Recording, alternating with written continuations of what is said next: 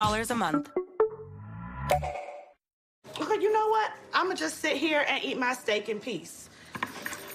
Well, anyway, um, I, uh, oh, I, I, I didn't tell you guys, uh, but a few nights back, this, uh, this dog, this dog followed me home. I'm about to tear this thing up. when I, opened, uh, when I opened the door, he just. Pedro Couldn't. The Lisa from Temecula sketch on SNL has become a fan favorite. Joining us now is the hilarious Ego Nwodim. Welcome. Up? That was so funny. And I was just telling you, too, that episode was great. Thank Like, you. And Pedro was incredible. He was great. He was great. That sketch was so funny. What's so funny to me too? Well, you uh, from you went to SC. You I know the did, area. yeah. Temecula is just down, not too far. But I, go to Temecula all the time with the wine. It's so Uh-huh. funny. Why did you pick Temecula? How did I that come about? Temec- the writers, which is so funny because uh, Alex English, who uh, was the writer of the sketch, along with Gary Richardson and Michael Che, Yeah. none of them have spent real time in California. I think Gary spent a little bit of time here, Oh. but I, I don't know. We were told to give it a more memorable name than it had at the time, which was birthday. That's funny. and that woman from Temecula, they decided she was from Temecula. I So don't funny. know how. I woke up on a Saturday and it was like, okay, she's from Temecula now. And I was like, okay, great. That's I'm so surprised funny. you guys know Oh. what Temecula is. my cheeks hurt in that sketch. I love when people break. Tell us about Pedro Pascal. Actually, everybody in the sketch right there. When you got up and you were getting that steak, did that happen in the rehearsal I know show? people that be cutting their steak like that too. I'm saying, that, and people. I mean, it beats like that, and it was born. It's based on Alex English's uh, cousin, apparently, who had uh, dinner over the holiday, got a well-done steak, and was kind of shaking the table and oblivious to it. But uh, I mean, I, people, I could not make it through that sketch without laughing when we did it at table read. So that was my first time reading it in front of an audience of our our cast members and uh, some of our crew, and I could not make it through the sketch without laughing myself. I, I actually thought I was like, this was so fun to do, because I couldn't deliver all the lines. This sketch is not going to the show, but but you know that was fun to do. And then all week long, I was losing it. We were all losing it. And then I mean, at dress rehearsal, there were some hiccups.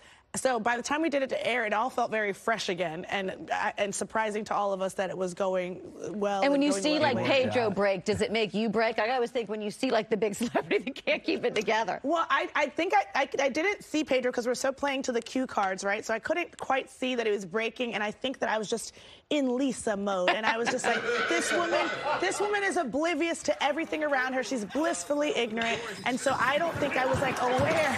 Oh, my God! I God. don't know that I was that aware he was losing it. Like if I think back, but I do remember at the part where I say, oh, because we're black, and Bowen laughing. I didn't see him drop his fork. I didn't see any of that happen, but I just knew he was laughing, Oh. and that made me that ma- that that made it really hard for me to keep a straight face. I will say. Temecula. Yeah, yeah, I love it. Uh, what do you What do you remember about um, uh, the SNL audition? Um, okay, we get to do five minutes. I did uh, several characters. I did Maya Angelou. I did my mother. I did a 911 dispatcher who was spreading people's business. Um, she would take a 911 call and on her cell make another call that's like, let me tell you what's going on in their house. And all, all bits that you had like been working on for a while now. No, okay, honestly, like you, you find out you're going to do the SNL audition and you showcase here on the ground in LA in one of the comedy theaters. And I think I found out a week before, and I was like, okay, what am I going to come up with in a week?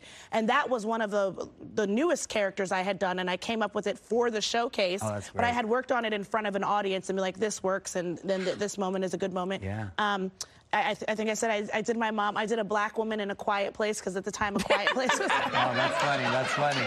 She was a little bit like Lisa, a little like Yeah, yeah, yeah. a little too noisy and rowdy for the situation. love yeah. it. I love How nerve wracking is that? You hear from everybody that's just Lorne sitting there. They said he never laughs. Yeah. What was it like for you? You know, I had so much going on in my mind at the time. I had just moved out of my apartment very abruptly because there was a roach. And so I was like a single roach.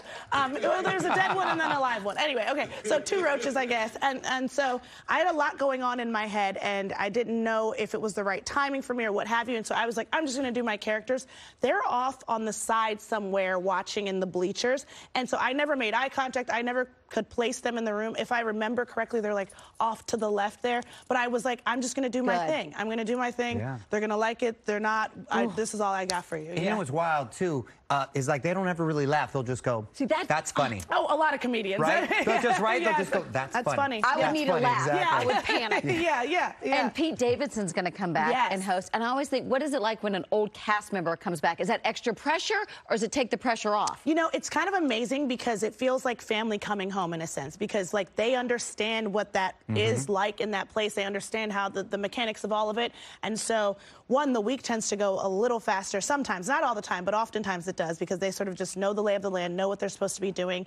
And it's just cool to see them come back and they understand and have empathy for your experience. So a lot of times, like as cast, we're trying to make the host feel really comfortable and feel really welcome. And it's just this new territory for them. Mm-hmm. But when it's an alumni returning, like- you don't have to, it's like, hey, welcome home. You know what the deal is. And in fact, like, it's nice to have them and their perspective in the building. It's like a little break for you too. You Yeah. ain't got to try. You know, Yeah, hold their exactly. hand the whole Exactly, time. like that. exactly, Very cool. yeah. Well, check this out. We reached out to the mayor of Temecula, uh, this Zach is Schwank. great. Sent you a little message. What? Hi, I'm Temecula Mayor Zach Schwank. We'd like to thank NBC Saturday Night Live and Ego Nwodim for introducing the world to Lisa from Temecula. the city of Temecula is proud to claim Lisa from Temecula as one of our own.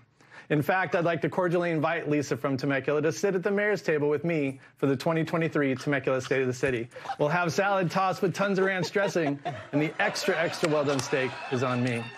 To Ego Nwodim and everyone at Saturday Night Live, the city of Temecula is enjoying our newest favorite resident, Lisa from oh, Temecula. Chills.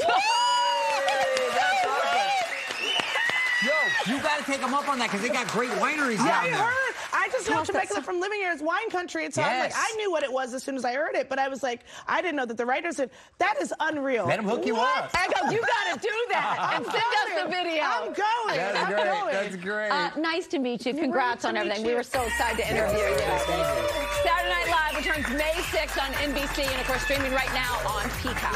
All right, coming up.